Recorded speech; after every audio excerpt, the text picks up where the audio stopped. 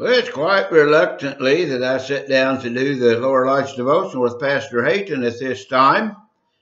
You see, I've been out on the riding lawnmower mulching leaves from the many trees here on our church property. And it's one of my favorite things to do because I love the fresh air and the sunshine. But I uh, decided that before I go home, I'll just stop by my study and spend my uh, normal few minutes with you here on the Lower Lights devotional. So I was out meditating, and I do a lot of meditating when I'm out on the lawn tractor. A lot of pastors, perhaps they're most productive when they're sitting behind their desk, but I seem to be most productive when I'm out uh, sitting behind the wheel of my car or sitting on the riding lawnmower. My mind is uh, just going a lot of different directions, and I do a lot of meditating. I do a lot of praying at that time. And I was thinking about a, a verse from the book of Psalms. I can't tell you the exact reference today. Uh, if you're interested, you can look it up in your concordance or Google it on the internet and it'll take you right to the very chapter and verse. But it says, The steps of a good man are ordered by the Lord. And we know that uh, that can be translated, the steps of a good man are directed or guided by the Lord. And as I thought about that, I thought about how, uh, you know, we consider ourselves to be good people. Uh, we're not good through our own merit. Our righteousness is as filthy rags, so it isn't the good things that we do that make us good. Uh, our goodness is only found uh, through the saving grace of God. Until we have truly come to God and confessed our sins and uh, taken Christ as our Savior, uh, we might be good in the eyes of the world, but uh, we're unrighteous and we are sinful in the sight of God.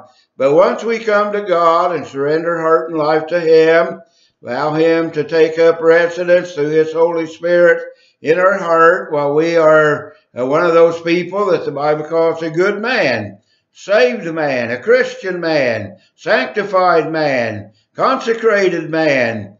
Uh, we are wholly dedicated to God, and that's what the Bible is talking about when it says uh, the steps of a good man are directed by the Lord. But as I thought about how once we become a good man in the sight of God, a good person, that the word man, of course, refers to either gender in this situation. So whether you're a man or a woman, once you become good by the grace of God, acceptable in His sight. God wants to direct your steps. Now, steps, that kind of indicates that we're uh, moving, doesn't it? Kind of indicates that we're progressing forward.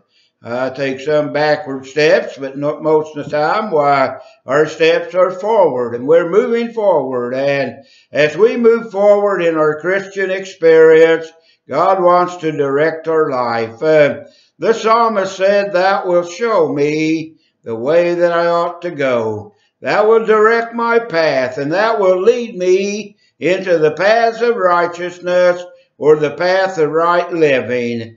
And so we've got to allow God to lead our life. Bible does say all of a man's ways are right in his own eyes, and, and so we cannot be trusted. But God's ways are right, and God's way will never lead us astray. God's way will take us in the direction that we all intend to go, and that is toward heaven. And so I want to uh, know that uh, I'm I'm living a life that's directed by God, that's guided by Him.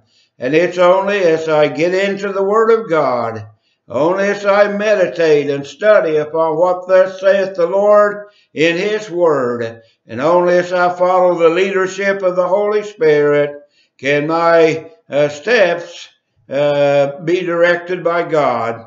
God wants to direct our lives and take us in a heavenly direction. Heavenly Father, may we look to the Word of God. May we depend upon the voice of the Holy Spirit to direct our steps from day to day. Lord, that we might go in the paths of righteousness, that we might travel that way that takes us to the city of God. Bless us on down throughout the journey of life. That's our prayer In Christ's name, amen. Well, I'll see you tomorrow, Lord willing, here on the Lower Lights Devotional with Pastor Hayton. Goodbye now.